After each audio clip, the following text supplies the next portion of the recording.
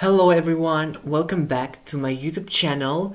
My name is Klodjan and today I am going to do another Eurovision Song Contest 2023 duel. And in this duel we are going to have Spain, FC, Iceland, we have Blanca Paloma with the song Ea Ea and Diljá with the song Power. In this duel, we are going to discuss about some elements like the lyrics of the song, the music, the orchestra, and also a performance, vocal, and the outfits. So let's go with the first element, and that is the lyrics. And let the duel begin. First of all, we are going to read the lyrics of Ea Ea Spain.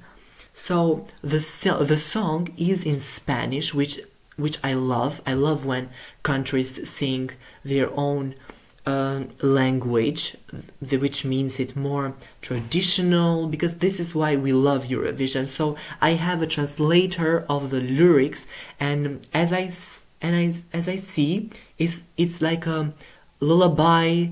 It's a song for children. Hey, come, my child Hey, come, my child, come sleep by my side.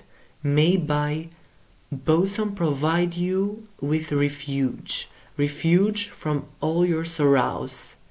Ea, ea, ea, ea, teardrops from the Nile, wakeful nights. My child, when I die, may they bury me in the moon, and I hope to watch over you every night on every night except one. Hey, come, my child, hey, my child, my darling, the scion of all my love, may your sunny eyes illuminate me at night.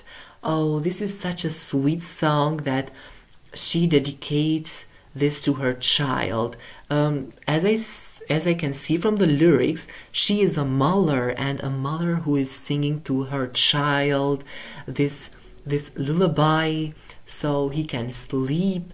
Um, oh my god, it's so emotional as lyrics and has her as a mother. You know the love that that, that is infinity love that a mother has for the child. These lyrics is so touching and so emotional.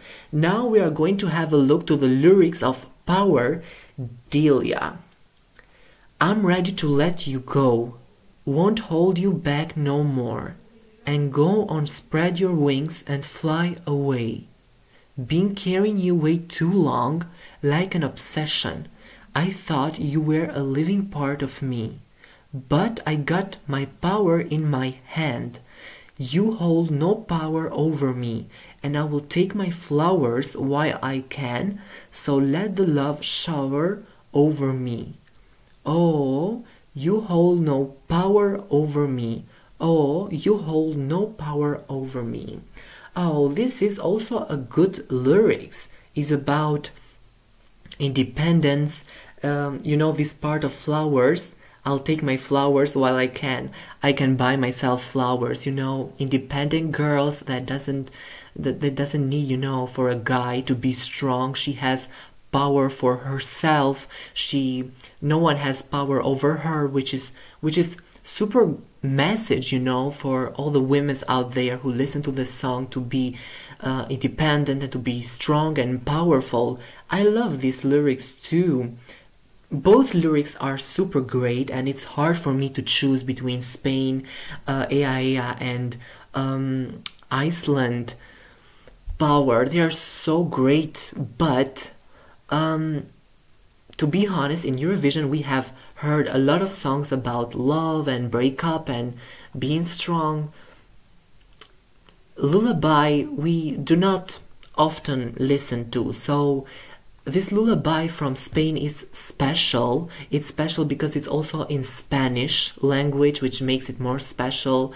So, yeah, I think my point for the lyrics, I'm going to give it to Spain. Yes, Spain one point till now for the lyrics because as I said it's a cute lullaby. and now we are going to discuss about the music.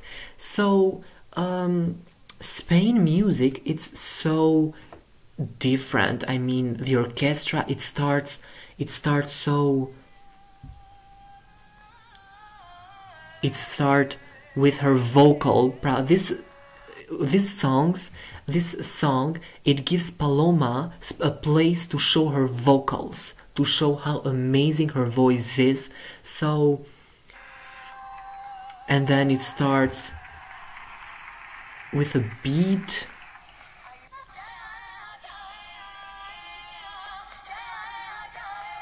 oh my god if you hear the music carefully you can see like it's it's so mysterious. It changed the rhythm from from rhythm big rhythm to slow and again and again. And it's it gives her a place to show her vocal.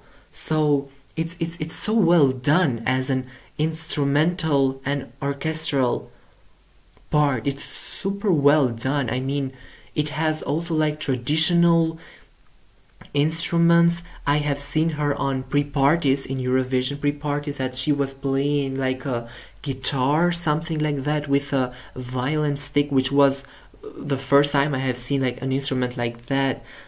I mean it's so it's so well done about the orchestra. While uh, diljá in other hand it's a ballad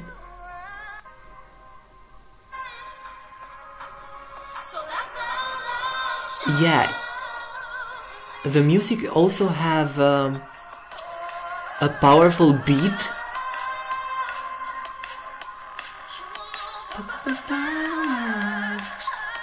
Yeah also diljá have a powerful beat on her song but um, compared to spain which has super more instruments and stuff i mean the orchestra and the music here, I'm going to give the point to Blanca Paloma Spain again because as I said it has too much instruments traditional instruments and it's so mysterious as a song which makes her more special. And now we're going to talk about the outfit. Um, I love the outfit of Diljá. She's like an independent um, woman who works on an office because she's wearing like costumes uh, especially on her national final she was wearing like a like a little purple if we could say costume which fits her with her hair. I love her hair. She looks like a Tinkerbell. Um, while in other hand we have um, Blanca Paloma with this red outfit in the national final, but in the pre-parties she was wearing only white dresses, um, which were more special and more um, more different, you know, just like a normal costume. So I think that um, Spain and um, Blanca Paloma has more um, amazing outfits. I mean, the way that they create those outfits are uh, next level, you know, than just a normal costume. So also my outfit is point is going to Blanca Paloma, but as I said, Diljá have this amazing hair. I love her Tinkerbell hair. She's amazing. But about the outfit, the point goes to Spain and Blanca Paloma. And we go to the performance elements. Um, Diljá is alone on stage. We can see some flowers on the screen, which is good. Um, I like I, I like I like when she is sitting on the floor and then she she take her power and um, go and jump on the stage and telling that she's power by herself. I love it. But in other hand, we have Blanca Paloma that she is singing. Oh my God, with so emotional. With I mean, she's like a good inter- interpreter on stage. She's feeling the song. She's feeling what she's saying because she's talking like to a chi- to a child. I love when the lights come like a circle, which represent the moon, la luna. Also, I love the dancers who have this kind of dance like Spanish flamenco, something like that.